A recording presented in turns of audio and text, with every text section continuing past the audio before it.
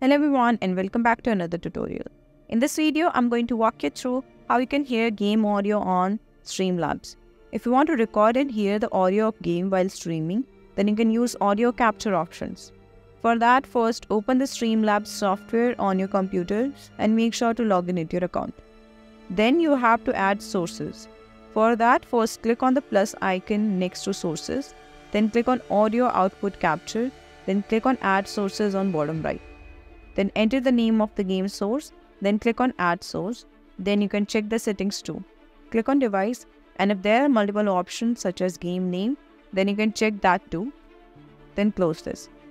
Now just to be sure, again click on add sources, then click on audio input, then click on add sources on bottom right.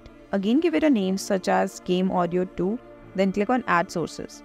Again you can change settings if you want just close this and you click on go live on the bottom right and this should capture the game audio. So this is how you can hear game audio on Streamlabs. I hope this video helped you out.